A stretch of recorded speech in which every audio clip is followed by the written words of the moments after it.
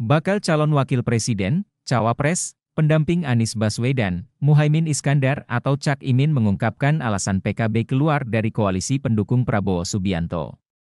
Cak Imin mengatakan kader PKB memiliki tugas dengan istilahnya, menyambungkan berita langit dan bumi. Nah, hanya orang-orang PKB yang tahu itu, menyambungkan berita langit dengan berita bumi, kata Cak Imin di Posko Nasional Relawan Anies Baswedan, Jalan Buncit Raya, Pasar Minggu, Jakarta, Sabtu 23 September 2023. Dia menyebut pihaknya keluar dari koalisi pendukung Prabowo lantaran adanya ketidakcocokan antara langit dan bumi. Hanya saja, Cak Imin enggan menjelaskan maksud dari menyambungkan berita langit dan bumi.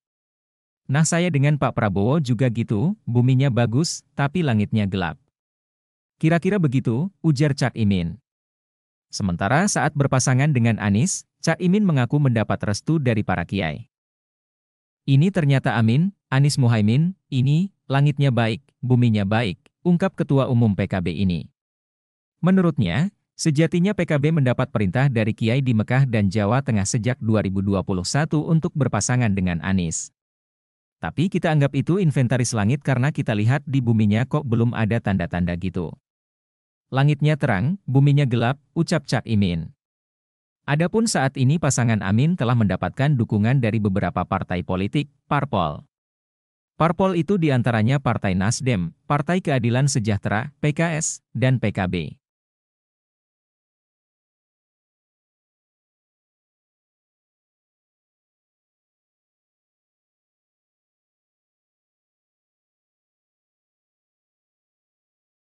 Bakal calon wakil presiden, cawapres, Pendamping Anies Baswedan, Muhaimin Iskandar atau Cak Imin mengungkapkan alasan PKB keluar dari koalisi pendukung Prabowo Subianto.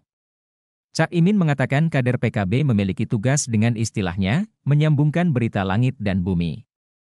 Nah, hanya orang-orang PKB yang tahu itu, menyambungkan berita langit dengan berita bumi, kata Cak Imin di Posko Nasional Relawan Anies Baswedan, Jalan Buncit Raya, Pasar Minggu, Jakarta, Sabtu 23 September 2023. Dia menyebut pihaknya keluar dari koalisi pendukung Prabowo lantaran adanya ketidakcocokan antara langit dan bumi. Hanya saja, Cak Imin enggan menjelaskan maksud dari menyambungkan berita langit dan bumi. Nah saya dengan Pak Prabowo juga gitu, buminya bagus, tapi langitnya gelap. Kira-kira begitu, ujar Cak Imin. Sementara saat berpasangan dengan Anies, Terima kasih telah menonton. Jangan lupa like, share, subscribe, dan klik lonceng ya.